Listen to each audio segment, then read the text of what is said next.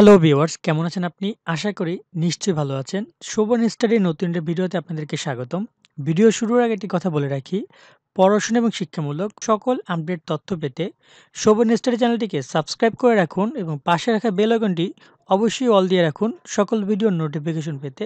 আর যারা already subscribe করে রেখেছেন তাদেরকে অসংখ্য ধন্যবাদ। আজকের ভিডিওর বিষয় হচ্ছে অনার্স চতুর্থ বর্ষ ভাইবা অর্থাৎ মৌখিক পরীক্ষার প্রস্তুতি সম্পর্কে গুরুত্বপূর্ণ টিপস।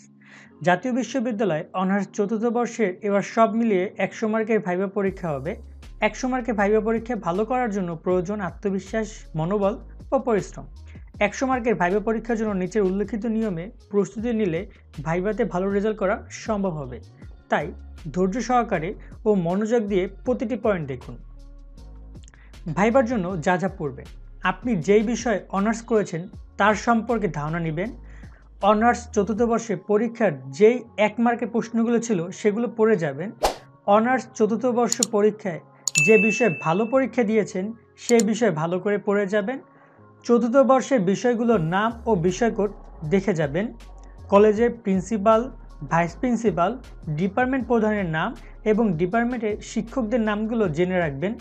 রোল, রেজি নাম্বার এবং পূর্বের ফলাফল জিজ্ঞেস করতে পারে।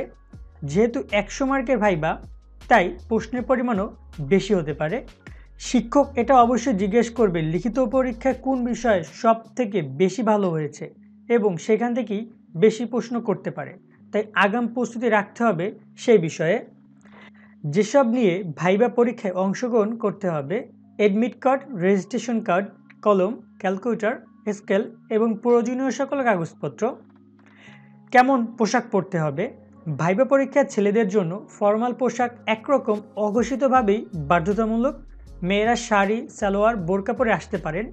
তবে মেয়েরা বোরকা পরে আসলে পরীক্ষার সময় মুখ খোলা রেখে বোর্ডের কক্ষে প্রবেশ করতে হবে। প্রশ্নের উত্তরের জন্য প্রস্তুতি। সাবজেক্ট কোড ও নিজের কোড সম্পর্কে পূর্ণাঙ্গ ধারণা রাখবেন। চতুর্থ বর্ষের চূড়ান্ত পরীক্ষার প্রশ্ন বেশি করে পড়বেন। ব্যবস্থাপনার মৌলিক বিষয়গুলো অবশ্যই জানতে হবে।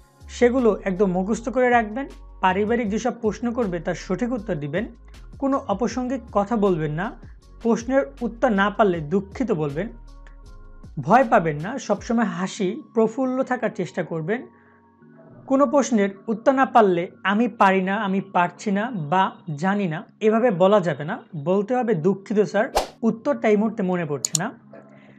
ভাইবা বোর্ডে যারা উপস্থিত থাকবেন, আপনার কলেজের ডিপার্টমেন্ট প্রধান জাতীয় বিশ্ববিদ্যালয়ের পক্ষে অন্য যে কোনো কলেজ থেকে একজন শিক্ষক থাকবেন। যেই কলেজে পরীক্ষা হবে, সেই কলেজের ডিপার্টমেন্ট প্রধান। যেই কলেজে পরীক্ষা হবে, সেই কলেজের ডিপার্টমেন্টের দুই থেকে তিনজন শিক্ষক থাকবেন। মৌখিক পরীক্ষার পূর্বে করণীয়। আগের দিন সব রকমের কাগজপত্র যেমন অ্যাডমিট কার্ড রেজিস্ট্রেশন কার্ড কলম ফাইলে রেখে দিবেন। সুন্দর ও পরিপাটি হয়ে সঠিক সময় কলেজে উপস্থিত হবেন। ছেলেরা অবশ্যই কলেজ কর্তৃপক্ষ নির্ধারিত পোশাক পরিধান করবেন। পোশাকে যেন অফিসিয়াল একটা ভাব গম্ভীরতা প্রকাশ পায়। মেয়েরা অবশ্যই নির্ধারিত পোশাক পরিধান করে ভাইবার রুমে প্রবেশ করবেন। পরীক্ষা হলে অ্যাডমিট কার্ড ও রেজিস্ট্রেশন কার্ড সাথে আনবেন। ভাইবার এসব জেনে রাখা জরুরি। ভাইবা বোর্ডে যাওয়ার সময় ভয় না পাওয়া। হাসি মুখে ভাইবা বোর্ডের কক্ষে প্রবেশ করা। উপস্থিত সবাইকে সালাম দেওয়া। পারফিউম ব্যবহার না করাই ভালো। বসার অনুমতি দিলে বসা। কোনো ক্রমেই টেবিলে হাত রাখা যাবে না।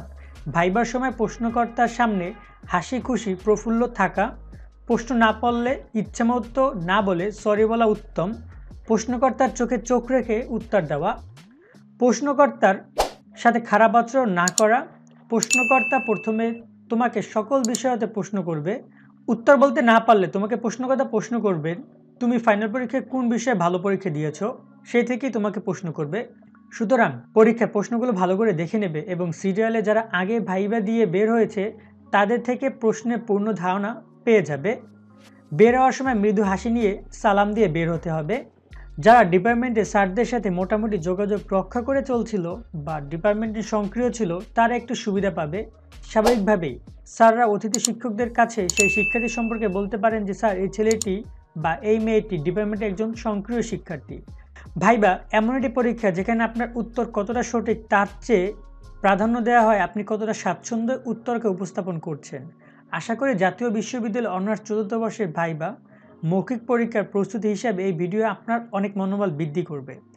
আপনি যদি উল্লেখিত সকল নিয়ম কানুন ভাইবা বোর্ডে উপস্থাপন করেন, তাহলে শতভাগ সফলতা আসবেই ভিডিওটি ভালো লাগলে লাইক করবেন। ভিডিও নিয়ে কিছু জানার থাকলে অবশ্যই কমেন্ট করবেন। এবং সাবস্ক্রাইব করে বেল আইকনটি বাজিয়ে রাখবেন। ধন্যবাদ সবাইকে।